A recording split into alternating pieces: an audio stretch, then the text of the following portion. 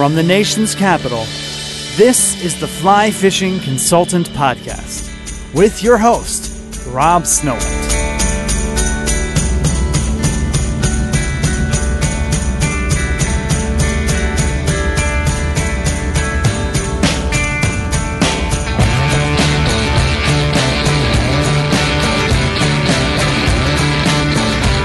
Hey, it's Rob Snowhite here.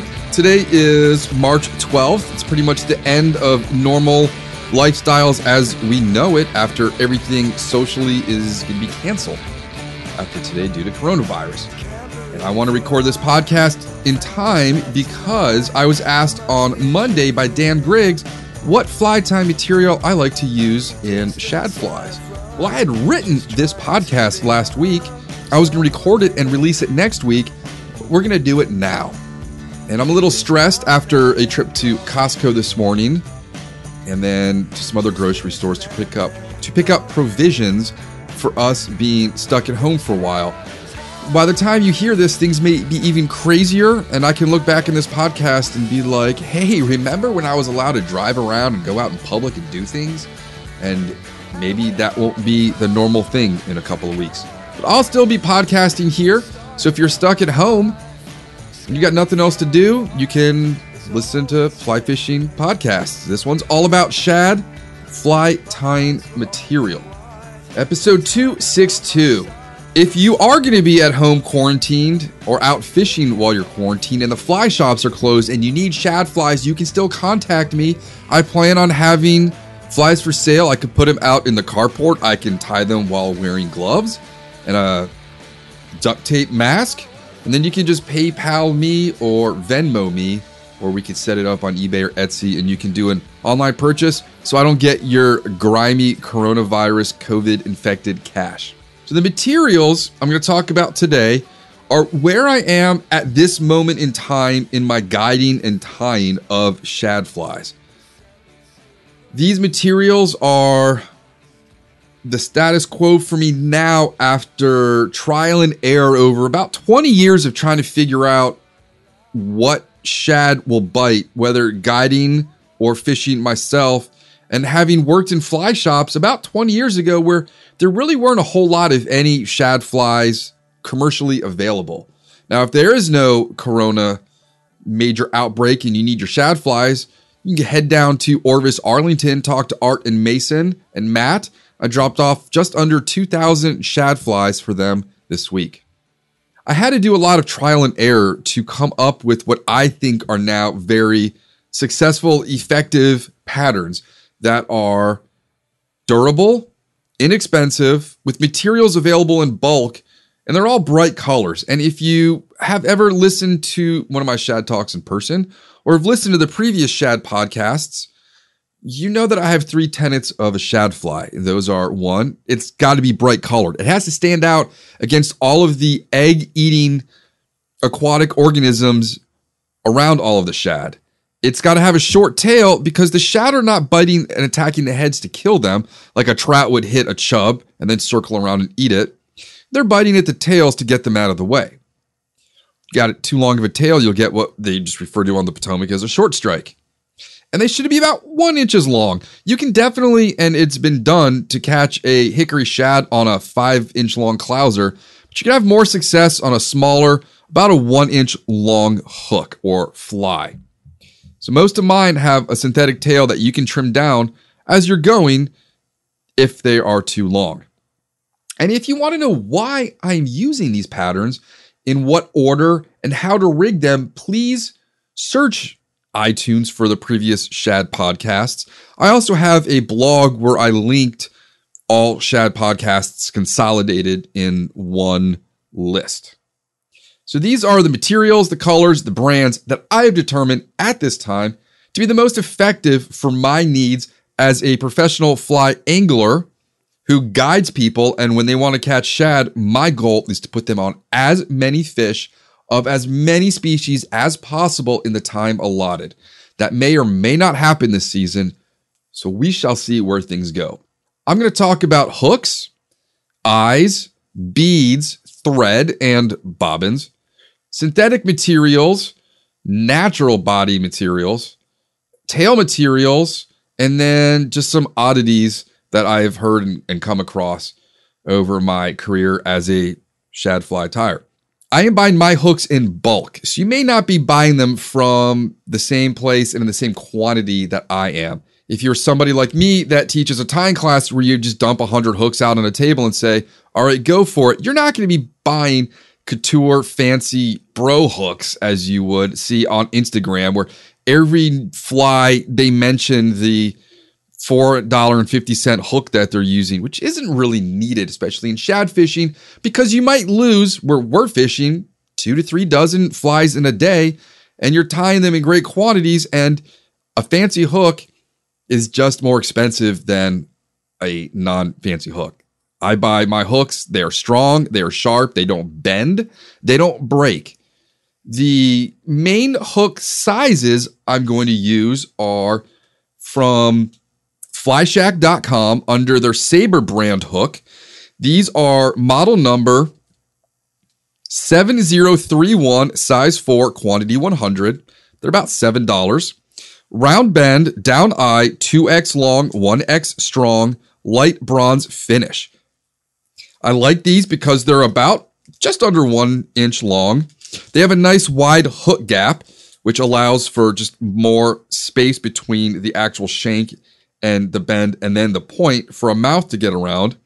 They're strong. I don't think I've ever had one bend on a fish, and they're crazy sharp. These will go through several fish all day long without getting damaged. Those are going to be the hooks for my shad nom noms, my larger shad darts, shad puffs, and I'm not sure what else I would tie on these. The next size model is going to be the same one. It's 7031 by Saber Hook from Fly Shack, size 6.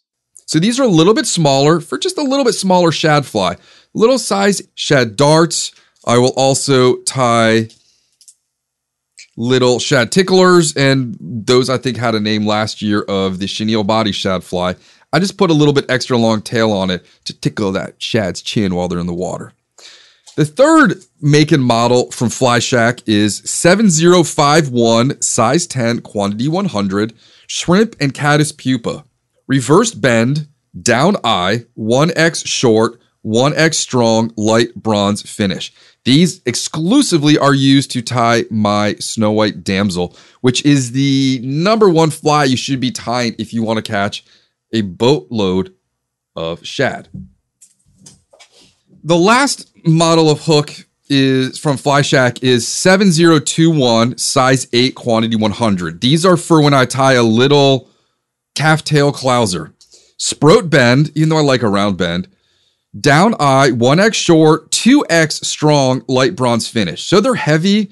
These are definitely not going to bend. And like I said, I'm okay with the sproat bend, but visually to my eye, I like a round bend. So those are the hooks I'm going to be using for a variety of those shad patterns. Last but not least is the jig hook. And like I said, it took me 10 years, told you this before, to come up with my shad jig of the right hook length, shape of the hook, weight of the head, shape of the head, body material, and tail material and you are going to learn about all those today. This is a size 2 Eagle Claw minnow head jig.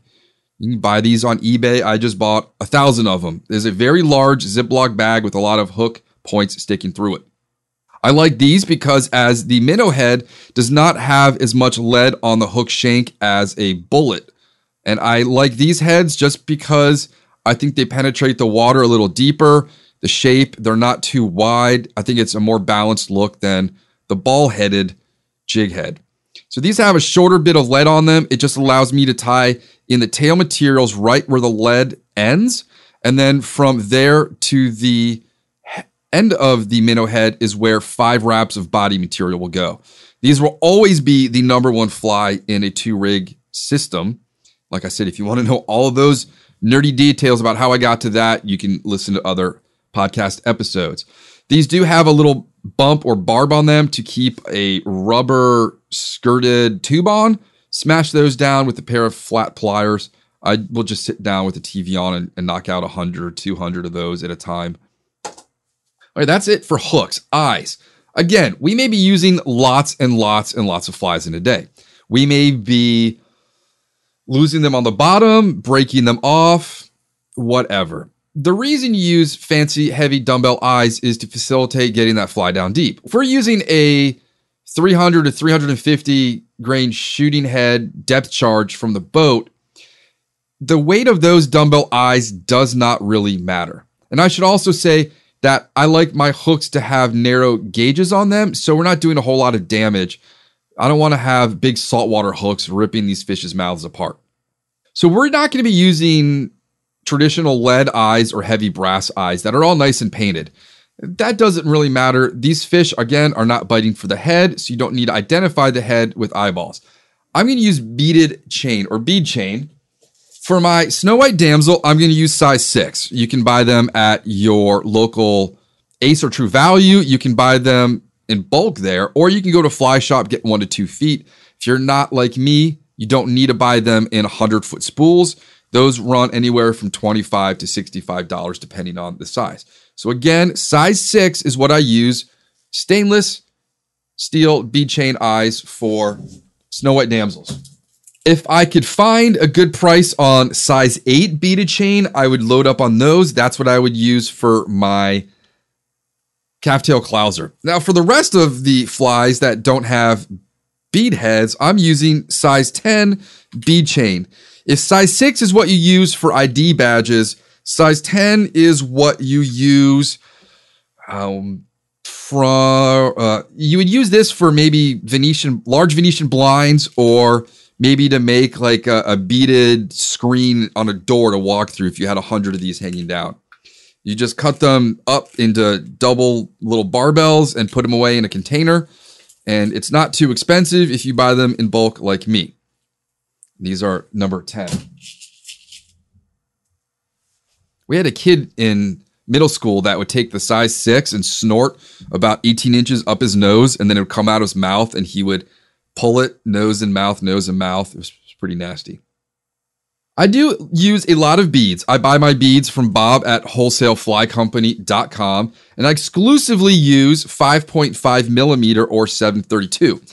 These come in a variety of brass, and I'm using brass. They're about seven something for a hundred. My last purchase was about 3,000 beads. So the two beads I like, but I'm not a fan of, are the black and the silver. The way that these are cast or cut makes them form a bit awkward when I am wrapping chenille up to them, like on my little shad darts. Sometimes they can be sharp in the smaller sizes and cut your line, but these ones are relatively smooth. And if we are going to have a, a, beer tie in April, or if I'm teaching my shad fly tying class at Orvis on March 19th, these are what I will be supplying. I use these on a lot of shad flies. The colorful ones, which I really love, are the premium brass beads, again in 5.5 millimeter, 100 in a package, 732s. These are the colorful ones. I wish Bob had one in a, a bright lime green or chartreuse. There is a yellow one that's maybe goldenrod or yellow brick road. It's a really bright, shiny yellow. I I can't even really describe what it looks like. It doesn't look like anything else in my office. There's the orange ones. It's kind of an ochre burnt orange, very shiny. I use these on my steelhead and my carp flies, as well as my shad nom noms and my shad darts. I use the bright blue ones on all those as well. And I didn't realize how cool these are like metallic smurf blue. They're really pretty and they look brilliant against pink or chartreuse. And I should have bought more than just one pack. I thought I'll just buy one pack. If I get screwed, then I'm gonna have a whole bunch of ones I don't like. And then my favorite of all of them is the hot pink. It's a hot fuchsia pink. I use that mostly on all of them because my flies are mostly chartreuse and pink. Now, these last four colors, when you put them on a size six hook, will stay on there easily if you wrap material up to them. Whereas the gold, which I didn't mention. The gold ones, the silver ones, and the black ones. If you wrap too tight, these will go over and pop off of the eye on a size six streamer hook that I mentioned. The eye is just too small. So those are my beads. They're relatively inexpensive for the amount that you're going to be losing them. And it's not a bad idea just to buy several bags at once because they're heavy. WholesaleFlyCompany.com. The next are threads. I use two types of threads. Specifically for the Snow White Damsel, I'm going to use a shorty Rite bobbin ceramic with uni thread 6-aught red. Don't ask me why it's uni. Don't ask me why it's red. Don't ask me why it's 6-aught. When I started tying these, that's what I had. I only tied with two color 6-aughts, red and black. So I picked red, even though red, we all know, disappears once the water loses light and you will cut this thread a lot if you have sharp edges on your metal bead chain eyes. The next thread I'm going to use is 210 denier from Hareline Dubbin. I get this in the lime green or bright chartreuse and pink. Those are the two colors I use the most. Then I will use white, then black, and then light blue. Mostly because I need the thread to match the body of the fly so you don't have an opposing weird color show up in between wraps or something. If you tie a shad jig that's chartreuse and use pink thread or vice versa, you can see it underneath the wraps regardless of how tight you sometimes can make them. I'm going to be using a Griffin bobbin on these, not a Rite bobbin, because I'm wrapping up to one yard of material at a time, and that gets wrapped around and caught up on that open arm on the Rite bobbin. I also will use the hot red bass thread from Orvis because it has a stretch to it. The other bass threads don't do that, but it's the hot red one that's got a nice stretch. So when you're tying a shad puff and the body is specifically just made of wraps of that red pink thread, it goes on a little tighter, nicer, smoother, cleaner, makes a nice knot. Stock up on those at your Orvis store. Those are the threads I use. You could probably get away with just using one or two, but for aesthetics, I have one bobbin for each color, and that's how I do it after all of these years. Let's talk about synthetic body materials. The first one is available at your local craft store. AC Moore's out of business, so hopefully when they were going out of business, you went in there to stock up on this. When I went in, they didn't have any. This is Stretch Magic.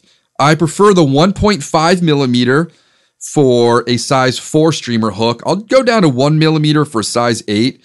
You can also use the 2 millimeter, it's really thick. And what you do is you lay down a body of wraps and then you palmer this over it. And because it's transparent, it kind of magnifies the color and brightness of the thread underneath. I use this on the clear body shad dart and on the shad buster, which I don't think I've mentioned till now. I also use the dumbbell eyes on the Shad Buster, fly my daughter named. Stretch Magic, uh, 25 meters or 82 feet. Strong and stretchy, resistant and flexible. The diameter of one millimeter is 0.039 inches. It's really cool stuff. I like it. It has a lot of uses in fly tying, which you probably will figure out once you start doing this. The next one is Estaz, and I love Estaz. It's the only material I use on my shad jig. I use over there on my wall, which you can't see, is Crystal Flash Chenille. That's all for my bass stuff. For this though, I like the Estaz. And I'm going to use strictly four colors. dropping stuff now. Four colors, and I'll tell you about them now. I purchased these through Hareline. You can also get them at your local fly shop. These ones are Hareline brand Spirit River. And it takes specifically five wraps on a size two hook, one 16th ounce shad jig to make this. You can, for one package, I can make up to 52 shad jigs, I think. Maybe I'm wrong. I think that's the number. So these colors, my favorite one, first off, is Pearl Hot Pink, BEST 097. That is my go to in a shad jig damsel double rig. This one's pink, damsel is chartreuse. And I'm going to record this on YouTube with me talking at the computer. So you can see all of these in the comparisons in a day or so after this comes out. My next second favorite color is Pearl Chartreuse, BEST 093. Third choice is Estaz Pearl Hot Pink, BEST 097. It's a little bit darker of a pink. I like the bright one. I like Minnow Blue, BEST 103. And then I additionally will favor Pearl, BEST 114. My daughter has discovered the video on YouTube of Will Ferrell and Pearl, where she is there to pick up the rent. Anytime you say the word Pearl now, profanity comes out of my daughter. I'm going to thank my neighbor Rob's daughter for showing her that. Uh, you gotta be careful with your Estaz. They're not always dyed the same. Some will be stiffer than others, some will have longer fibers than others and you will just figure this out as you wrap. I like to wrap this. I like a specific direction I like to wrap, and I can't really explain it. There's two directions of the Estaz. Uh, I like the convex way tied in and wrapped forward. That's Estaz. It's absolutely indestructible. It's brilliantly colored, comes in a variety of colors. Find out what you like, play with them. I also ordered purple Estaz over the winter. I think for shad jigs, but it hasn't inspired me to tie a purple one yet. The next material is trilobal antron. This is what I use for the heads on shad puffs. And I have two diameters. If you use small trilobal antron, you have a better chance of not bulking the ball up around the bead chain. Whereas if you use the medium, so f- more wraps of small, fewer wraps of medium, medium will go over the eyeball parts. And again, the reason, I don't know if I mentioned this, I'm using the size 10 bead chain is because it's about the same size as a shad egg. So if you have a shad buster or a shad puff and the front of it looks like there's an egg in the mouth, maybe a shad theoretically would be more aggressive towards that fly or fish, similar to an egg sucking leech. A little bit more aggressive. That's just my neurotic uh, shower thoughts and daydreams and falling asleep at night because that's what I think about is flies when I go to sleep. I'm using this in fluorescent chartreuse and fluorescent fuchsia. I think I have fluorescent orange.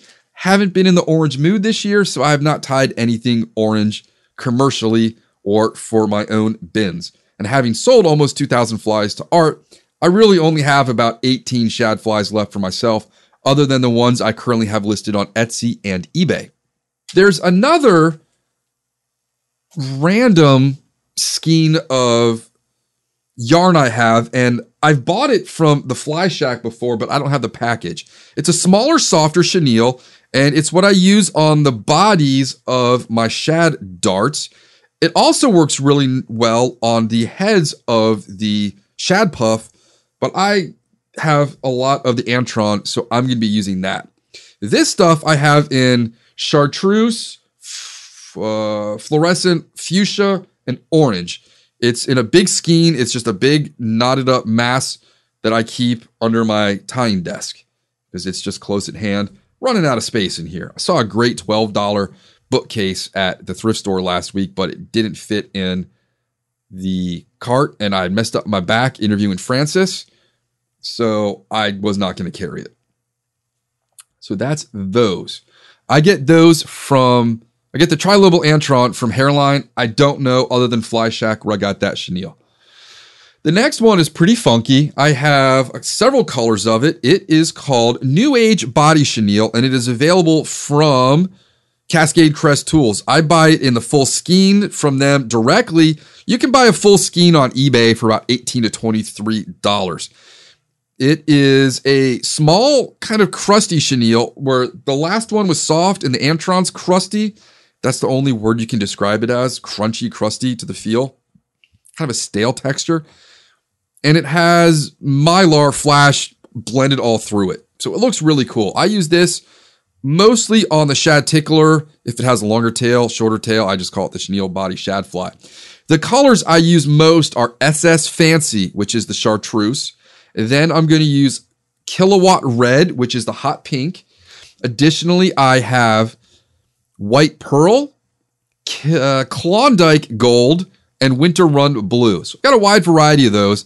You can actually see all those laid out on Cascade Crest Tools website. If you want to order them online, you can do it that or have your fly shop order them for you.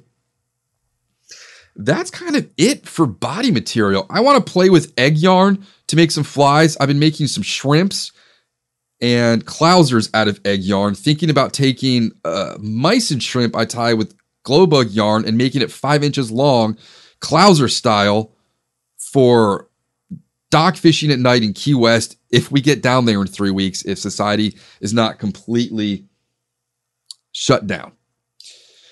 Let's talk about another body material. I guess I forgot this because of my notes. Uh, Korean scrub yarn. You can buy this down the street at Lotte Korean grocery store. Marcy picked up some after my Shad Talk recently. You can also get it on Etsy and eBay, though you may pay a lot for shipping. And now, don't know if you're gonna be able to get it shipped out of Korea. My old neighbor Michael was on NPR about coronavirus and the military in South Korea. I guess he's in charge of that. So it was pretty cool to hear my, my old buddy Michael Tremblay on NPR. So this stuff comes in two varieties that you can buy, and you can't really see it online. I've got a cardboard box here. It's my hatch box that I got my reel and my other goodies in. Still looking for my hatch bottle opener. I think walked off with somebody at the Virginia Fly Fishing Wine Festival. So there's two types. There's the kind with more of a mylar flash in it, and then there's sort of a softer, dull one that's just all solid color. The all solid, softer one is going to wrap vertically around it, sticking up like the hair on the back of a scared cat like a woolly caterpillar. The other kind is going to lay back and be a little bit more streamlined. So you can have the first option, which is going to be pushing more water, being a little bit more loud vocally and physically in the water versus the streamlined one. I find that the first option, the softer one, lays down better and you can wrap it faster, whereas the Mylar type one wants to change directions on you and lay front instead of back when you wrap it. So the most used in the soft is chartreuse and pink. I also have sort of like a Kermit green. I've got purple. I've got black. I've got white. I don't know what else colors in that. And uh, I now have a Carolina Kingfisher blue. More Kingfisher blue because I'm tying Ira up some of the blue double barrels for Maine this summer. Hopefully, he's picking those up at our oyster party this weekend. And I still hope Jason can make it down. A couple other Steelhead crew members are not going to make it because of Corona. So the other colors are I have this sort of, wow, just bright chartreuse with kind of pinkish lime mylar in it. I've got an orange one that's got more flashy stuff in it. I have a silver one that's sort of I say that's more the soft one. And when I say silver, I mean it's like steelhead chrome. It's extremely bright. It's as bright as Christmas tinsel. And I'm these are all what I use on the bodies of the shad nom nom. I've got uh, another kind of apricot yellow one. Anytime I'm in the Korean grocery store, I always go to this section. This stuff is ideal and made for weaving your own loofahs for either scrubbing yourself or for pots and pans. So Korean scrub yarn. It's a rare item. It should be carried by Hareline. Sean Brillen, if you're listening, let's carry this stuff and make it easier for fly shops to get it. I buy it in one skein of 300 feet for about six bucks at the Korean grocery store. Crystal Flash is one of the last materials in this section. It forms the body of the Snow White Damsel, and I only use multicolor, not rainbow, multicolor. It's light. It's got pinks, blues, greens in it. It used to come in this really nice wavy material. Now it's kind of straight and a little more stiff. So I still have, I'm holding one in my hand of the wavy kind. I'll show you the difference on YouTube. And I use five strands of this per damselfly. You can pick this up at any fly shop. I purchase it through Hareline Dubbin. The only natural body material I'm going to use is an ostrich plume. Dyed chartreuse Where's a nice one I can discuss? And specifically from Wapsi.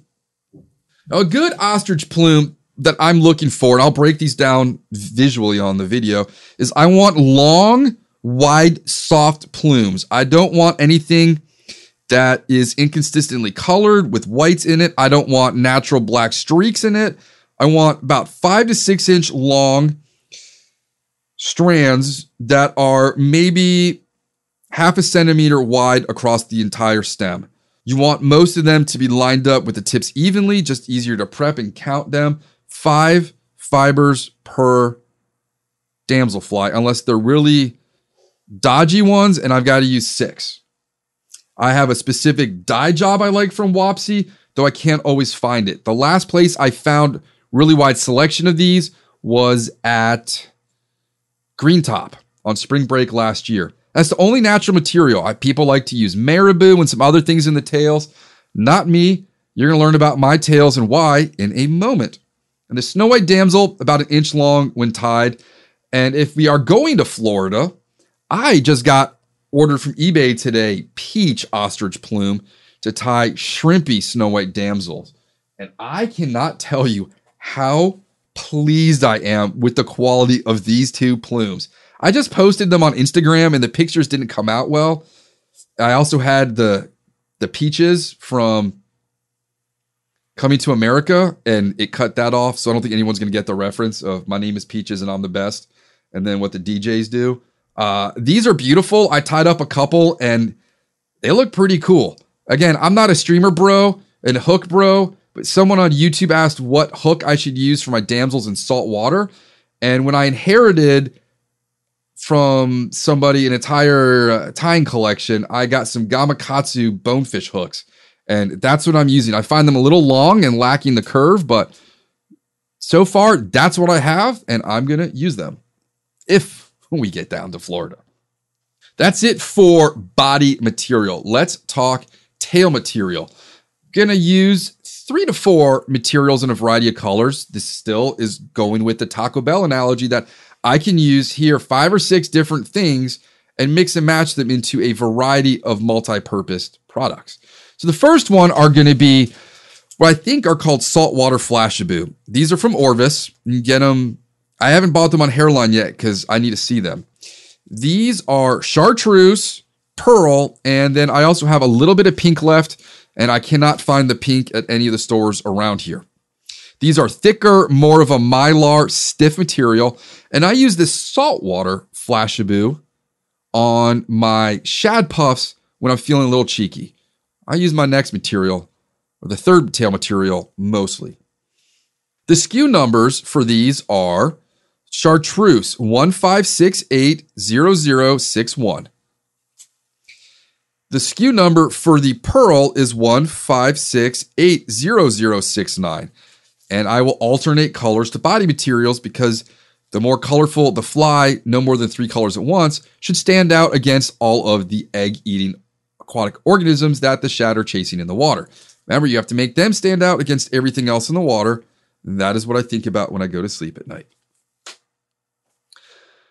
The next Flashabous, and again, these are made by Hedron in North Carolina. I've got a variety and some new ones. The main one I have used since I figured out the final stage of where I have my shad jig is Silver flashabou Extra Limp, color 6901, which is Christmas tinsel.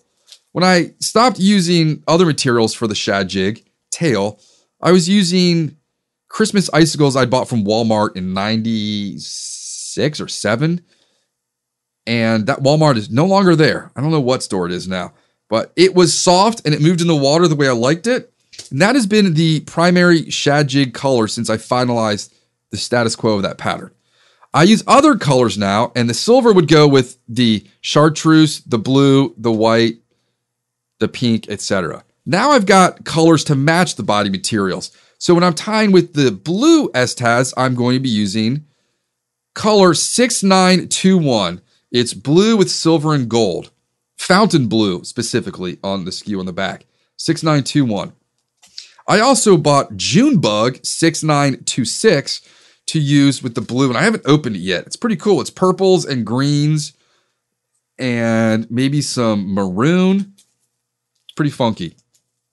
Not my favorite color, but it best matches the chartreuse is lime, color 6909.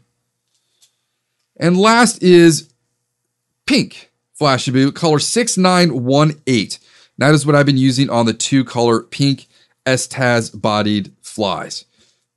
I will also show you how I open these to most efficiently and economically utilize the material, which I showed to somebody at Beer Tie the other night, and they were very amazed at this hack of how I cut this. I can go across one across the package for me is probably 15 to 22 shad jigs. My last tail material is going to be Polar Flash. There are colors I prefer, colors I don't. When I'm teaching a class and we're using my own materials coming out of my pocket, we're going to use the colors I don't like because the class folks haven't fished these, haven't tied hundreds of them. They don't have the opinions yet that I do. So the colors that I do not like for the tails, which are mostly to be on shad puffs, shad nom noms, and shad jigs, are a pinkish color 2004.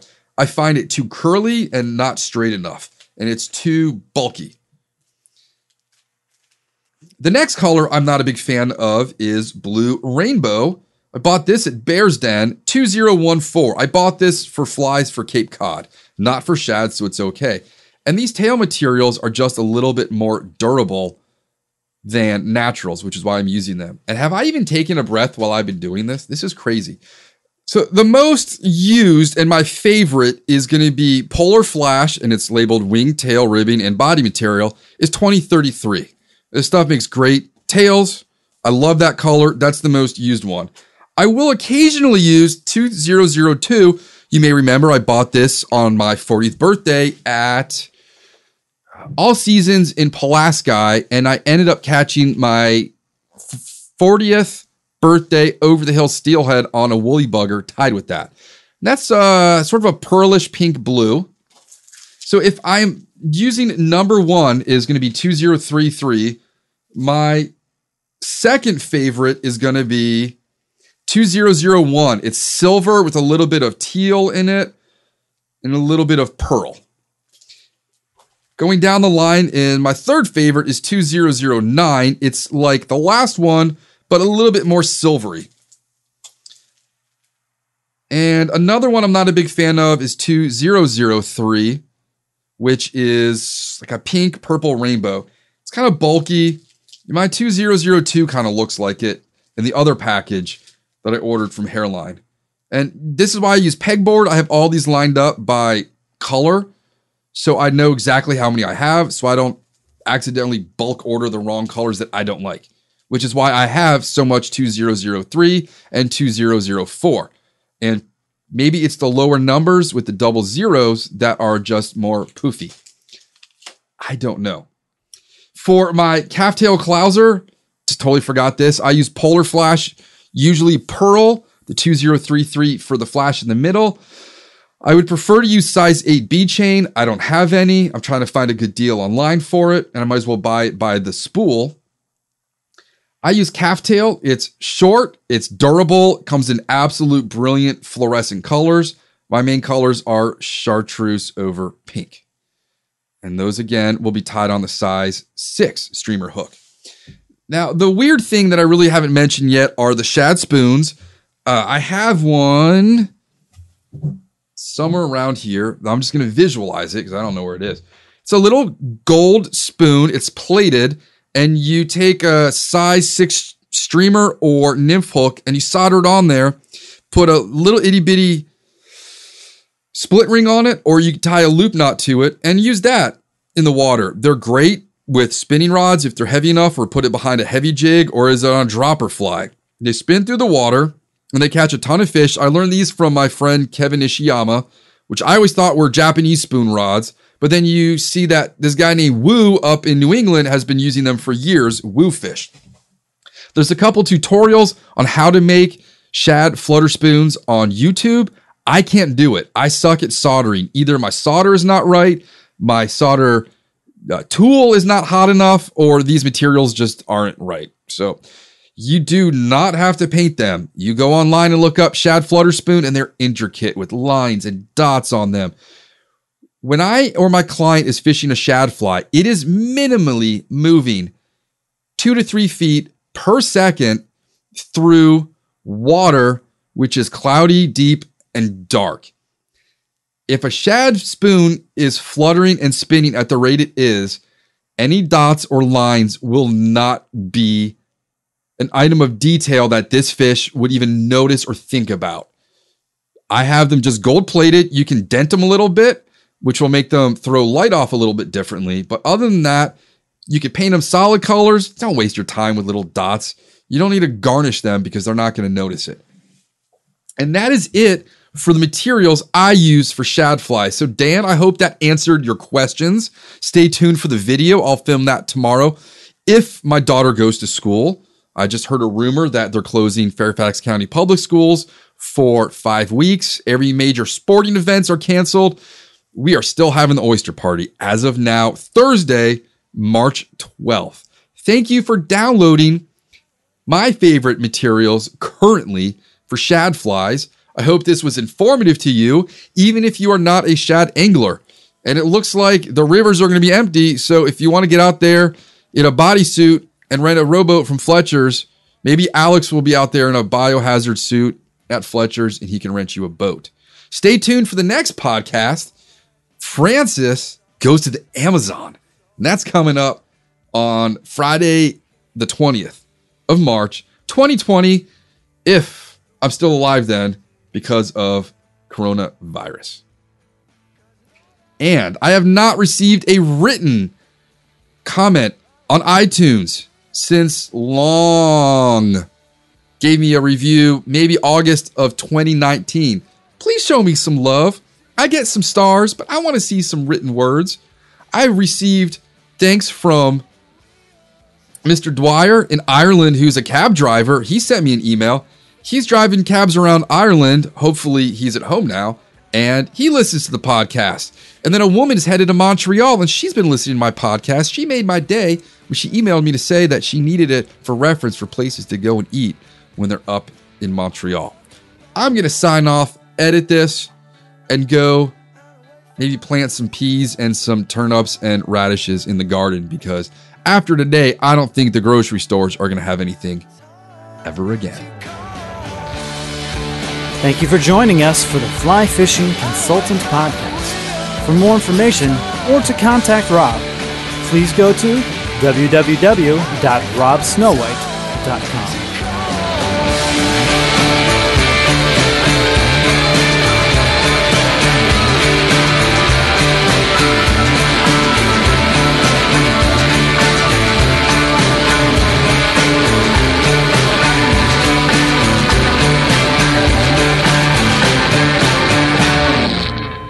This podcast is brought to you by Freestone Productions at freestoneproductions.com.